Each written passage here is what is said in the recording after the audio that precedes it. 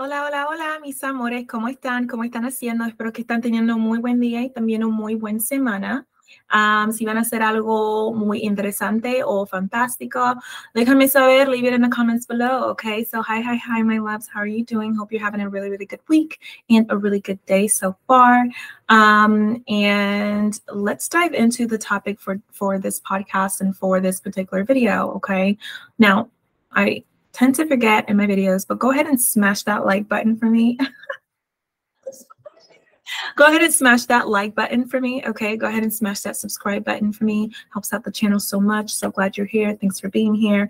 Um, and also leave it in the comments below as to what your thoughts are on this particular uh, topic. Okay, so today we're going to be talking about legacy and what the true meaning of legacy is. All right, I get I think it's just so funny, you know, when I hear when I hear males say that having a legacy is having children.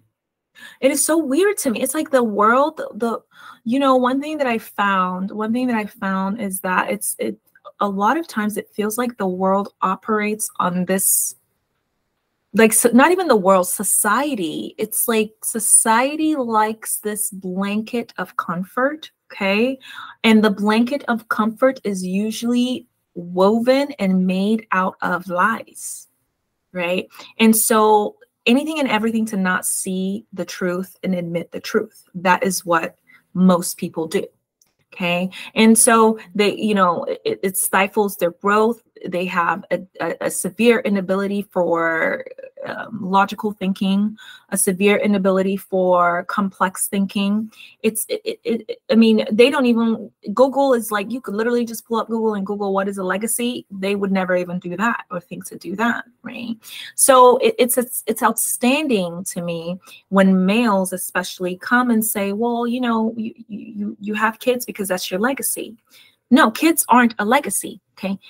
Kids, children are human beings your legacy cannot be another human being. Okay. You having a child is not a legacy. Okay. You having a child means that this is a whole human being of their own. Okay. What does that mean? Well, this is a human being. So they're going to grow. They're going to make their own decisions. They're going to choose their own path. They're going to decide how they want to live it and what they want to do. And there's nothing on God's green earth that you can do about it. That is not a legacy. That's not a legacy. Okay, so if that's the reason, if that's the thought process that you're following, hate to be the bearer of bad news, sorry, not sorry, but it is stupidity to say, right? To think and continue to think under this mask of delusion. Although I understand why it's there, most people will stay there. It doesn't matter if they watch this video, if they watch another video, if they watch a, a male say it, it doesn't matter what you do. Um, unfortunately, you know, at least 90 at least 90% of people in the population they like living underneath this mask and this cloak because it's what they're comfortable with. So they would much rather live a lie than confront the truth. Right. And when you live a lie, there's nothing you can do about it. You essentially end up wasting your life because that means you went your whole life um, convincing yourself that having a child is a legacy. And then when that child grows, when that child wants to make their own decisions, when that child wants to go their separate ways and do something that you don't agree with, go a path that you completely disagree with, now all of a sudden it's a problem and your whole world is crashing down and the child is the most horrible child po possible or, or on God's green earth. When that's not really the way, I mean, you did it wrong and there's no, the one thing you can't ever get back is time so you refuse to confront the truth. And because you did that, this is the consequence. Okay. You uh, refuse to take control of your own life. You refuse to um, really face the truth in the face. Okay. And take control of that. Right. So because you did that, there's no way you're going to end up where anywhere even close to where you want to end up. Okay. You keep telling yourself a child is a legacy. A child is not a legacy. Okay. You cannot leave a legacy just by having a child. We know Martin Luther King's name. We know ML, MLK's name, right? Can you tell me, can you tell me without looking it up or anything else, right? what how many kids he had and what their names are and how old they are. How many kids did he have? What are their names? How old are they? You can't tell me. Martin Luther King, okay, the, he didn't say, oh, because I have a child, that's the reason why people will remember him. People don't remember him because he had children. That's not what we remember him for. Okay, his legacy, right, was something that he did, something that he himself did, not, oh, I, I, because I have a child, that's my legacy, and that's what what people remember him for.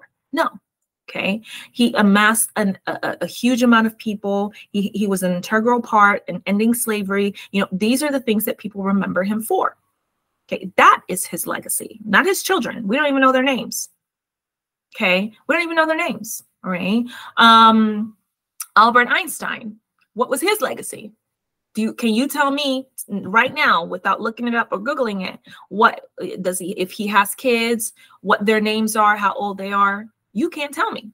That is not his legacy. That's not what we know Albert Einstein for. Okay, we know Albert Einstein even after all of these years because his legacy was something that he did, right? His legacy was um, a part of himself, right? Like he was brilliant and and gave us a lot of uh, brilliant theories and inventions. So, you know, these are the things, these are the things that need to be understood here. All right, so when we take a look here at the definition of what a legacy is, all right, we can we can see it here. Okay, what is a legacy? Okay, the definition of legacy is something that is passed on. Okay, but legacy can take many forms, right? Something of value that is passed on. Okay, so you passing on your genes is not a legacy. Okay, no one's going to remember you because you passed on your genes okay. Like your children are going to go off and do what, whatever it is that they want. And there's no telling if they're going to even choose to have kids themselves. And that's the end of that. There's nothing you can do about it. That's not a legacy. A legacy may be one's faith, ethics, or core values. Okay. A legacy may be monetary or your assets, right? So if you have money, okay, your legacy is the money that you're passing down to your next generation. It's actually the money. It's not it's not the kids themselves. It's what are what are you? What did you do? What did you do? Not what what are my kids going to do? Not let me give birth to the kids so they can do it. Not no, what did you do? Right? A legacy may come from one's character, reputation, and the life that they led. You comes right back to you. Your kids cannot save you from this fact. Okay. Legacies, legacies often tremendously impact, encourage, and leave pathways for future generations. Leave pathways. Not, oh, I'm just gonna have a kid and, and leave nothing and claim that that that the kid is my legacy. No, the pathway that you leave, right? Wealth, money, core values, traits, that is the legacy. And if you don't have those things, you don't have a legacy. You do not have a legacy. That's it. Okay. Books that you might have written, right? A, a, true, true legacy impacts the mass, right? Not even just your kids. Like if you really want to live a legacy where you're a legacy is what you're remembered for by the masses and it goes and transcends generations. Okay. So what did you do? Right? What did you what did, did you write books? Right? Did you write books that impacted the lives of other people? Right? Did you did you change lives? Is that what you're going to be remembered? You are going to be remembered for is changing and impacting other people's lives. That is a legacy. Okay, so legacies um, provide guidance and inspiration for family members and those impacted by you to live lives that impact their faith, homes, community, and businesses. You it has nothing to do with the child that you birthed. Your child and your child in and of themselves, that they are not a legacy. Your child is a human being. it's just so funny to me. Your child is not a legacy, sir, ma'am. Your child is not a legacy. Your child is a human being. Your child is not here to make you look good. That's not what your child is here for. Your child is not here to take on all of your dreams and your your failed aspirations and do the work for you. That's not what your child is here to do. Your child is a human being, not a legacy. That's a human being. There's a difference. Okay. If you want a legacy, you have to do that work yourself. No one else can do it for you. Just like if your child wants a legacy, they're going to have to do the work themselves. No one else can do it for them. So anyway, this is like uh, something super, super common that I always see. So I wanted to make sure to make a video about it. But go ahead and leave it in the comments below. Let me know what your thoughts are. Okay. And I'll see y'all in the next one. Thanks. Bye.